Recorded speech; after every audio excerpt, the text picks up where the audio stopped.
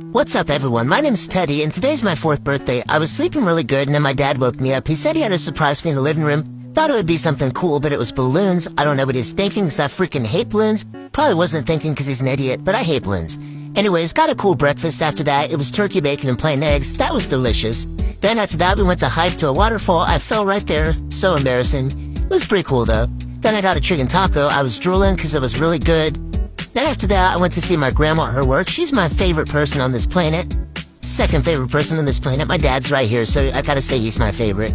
Then we went home and I got to swim a little bit because I love the water. Then I had birthday cake with my stepbrother Archie, and mine was pretty good, but his looked a lot better for some reason, so I jacked it while I wasn't looking. Then I don't know what got into me, but I just felt like getting on the table, so I did it.